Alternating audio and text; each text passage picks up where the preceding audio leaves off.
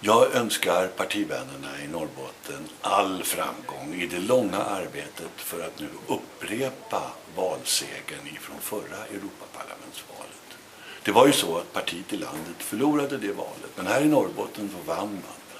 Och jag hoppas nu att ni i Norrbotten tar ledningen och behåller den och inspirerar oss i resten av Sverige till att verkligen göra Eh, parlamentsvalet till Europaparlamentet 2009 till ett segerval för socialdemokratin och en smakstart inför den stora kraftmätningen år 2010 om makten i Sveriges riksdag.